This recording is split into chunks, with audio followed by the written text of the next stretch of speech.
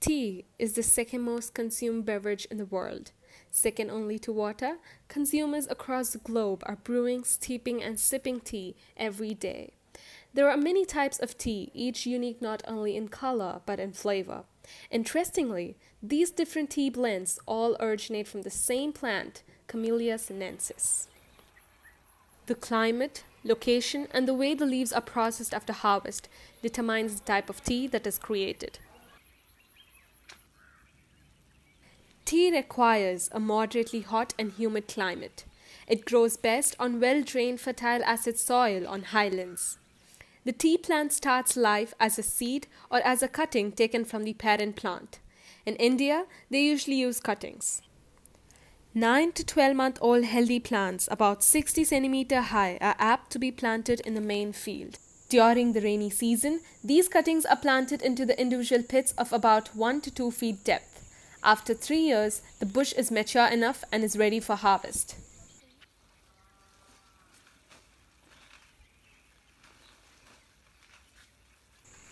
Tea is harvested once in 15 days. This involves intensive labor for plucking the tea leaves.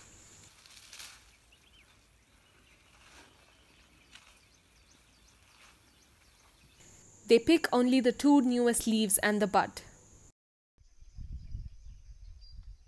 The tea plantation is regularly weeded so that the tea bush grows without any hindrance.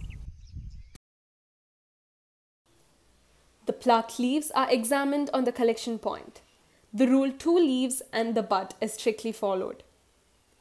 These leaves are then transported to the factory for processing. The plucked leaves are weighed before the actual processing starts. Once the tea arrives the factory, it is unloaded and checked for quality.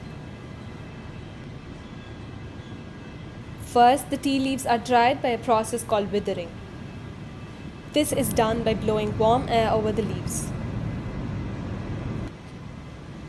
The tea leaves are withered for 16 to 18 hours and it removes the surface moisture and increases the caffeine content in the leaves.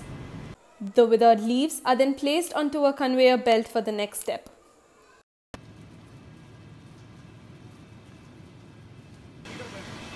Here the leaves are cut and shredded.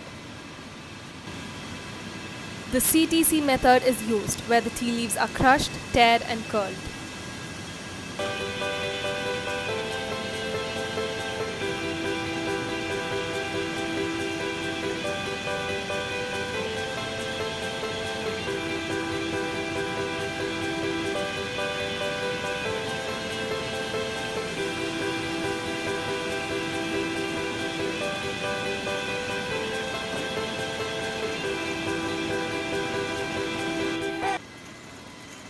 The shredded and crushed leaves are led into the fermentation drum where the oxidation takes place.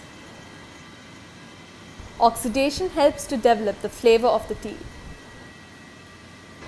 The process of fermentation takes about 20 to 30 minutes.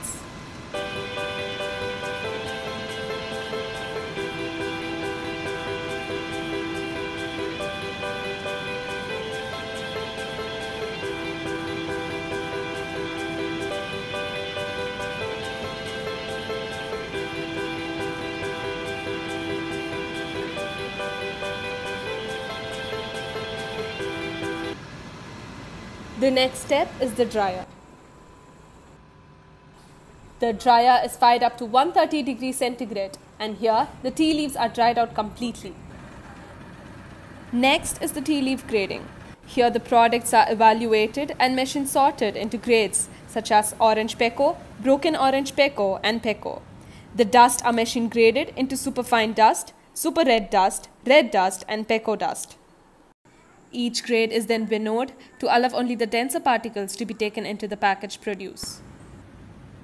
Each of these is then loaded into 40 to 45 kg of tea sacks and it is ready to be shipped.